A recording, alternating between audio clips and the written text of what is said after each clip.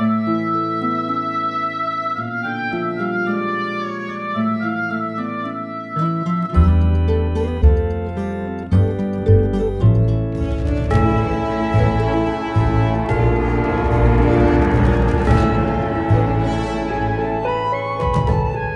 موجود.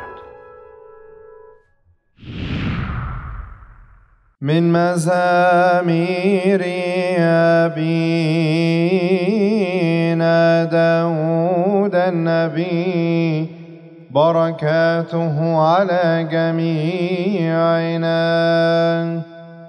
باركوا الرب يا جميع ملائكته المقتدرين بقوتهم الصانعين قوله. باركوه يا جميع قواته. خدامه العاملين إراداته.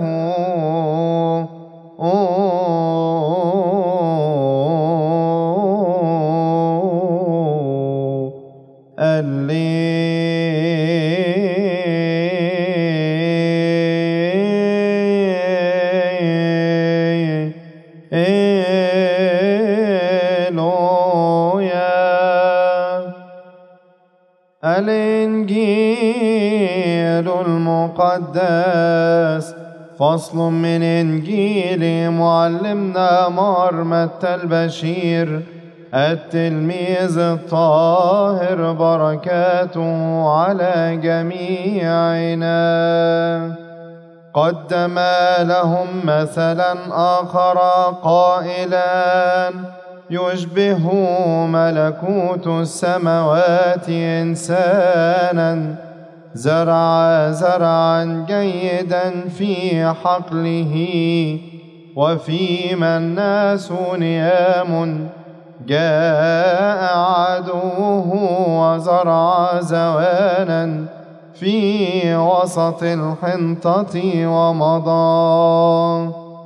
فلما طلع النبات وصنع ثمرا حينئذ ظهر الزوان أيضا فجاء عبيد ورب البيت وقالوا له يا سيد أليس زرعا جيدا زرعت في حقلك؟ فمن أين له زوان؟ فقال لهم إنسان عدو فعل هذا فقال له العبيد أتريد أن نذهب ونجمعه؟ فقال لا لئلا تقلعوا الحنطة مع الزواني وأنتم تجمعونه. دعوهما ينميان كلاهما معا إلى الحصاد. وفي وقت الحصاد يقول للحصادين اجمعوا أولا الزوان واحزموه حزما ليحرقا. وأما الحنطة فاجمعوها إلى مخزني. قدم لهم مثلا آخر قائلا يشبه ملكوت السماوات حبة خردل أخذها إنسان وزرعها في حقله. وهي أصغر جميع البذور ولكن متى نمت فهي أكبر البقول وتصير شجرة حتى إن طيور السماء تأتى وتتآوى في أغصانها. قال لهم مثلا آخر يشبه ملكوت السماوات خميرة أخذتها امرأة وخبأتها في ثلاثة أكيال دقيق حتى اختمر الجميع. هذا كله كلم به يسوع الجموع. بأمثال وبدون مثل لم يكن يكلمهم لكي يتم ما قيل بالنبي القائل سأفتح بأمثال فمي وأنطق بمكتمات منذ تأسيس العالم.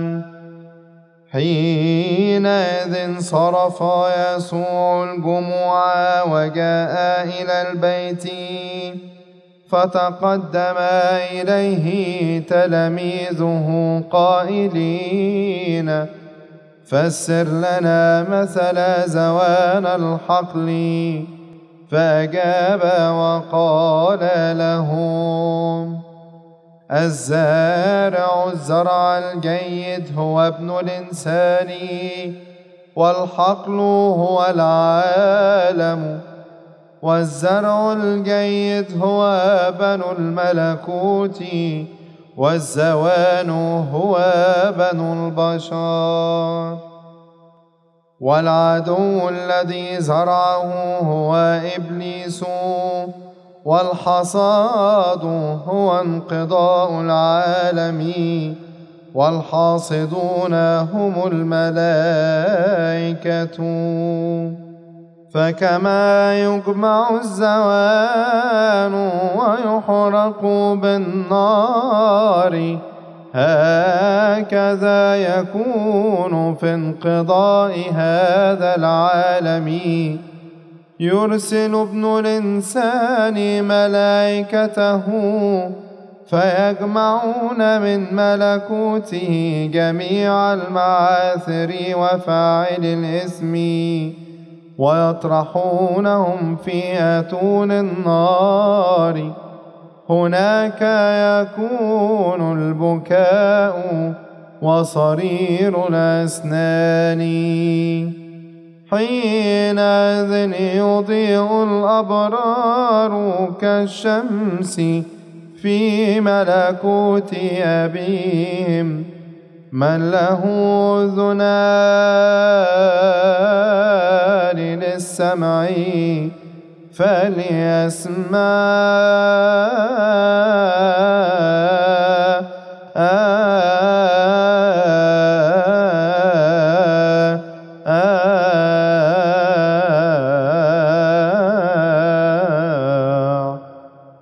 والمجد لله دائما